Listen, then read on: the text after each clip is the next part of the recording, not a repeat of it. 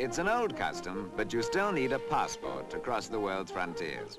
And if to those of you remembering the delays while entering other countries, these travelers seem ultra free and easy, that's possibly because all they have to declare is joie de vivre. At least you can drive into Derbyshire without much bother, and that's exactly where they are.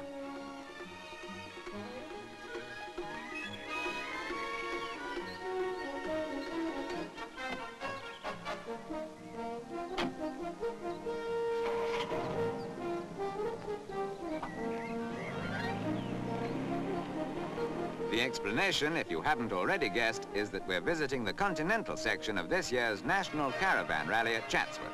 And the section is much more than a name and a few foreign signs. All these people have actually toured the continent by caravan.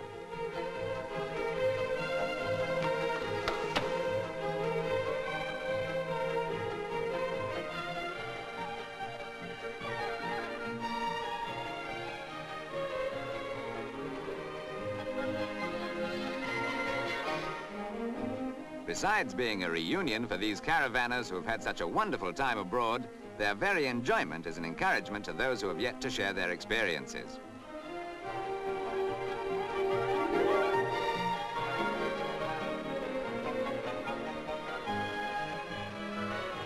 What's the game? Bowls, or at least the French version of it called pétanque.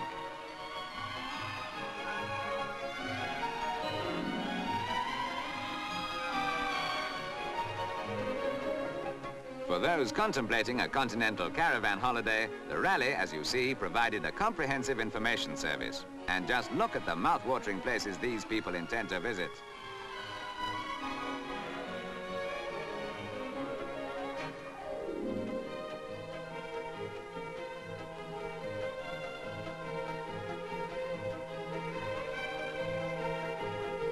The gentleman celebrating with his friends is a caravan manufacturer. And with over 1,500 caravans here, he has every reason for celebrating. Some say life in a modern caravan, far from roughing it, is like floating on air. Champagne recaptures the feeling very well.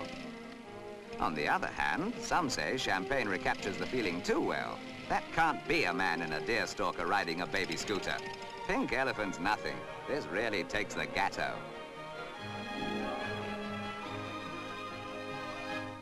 With caravan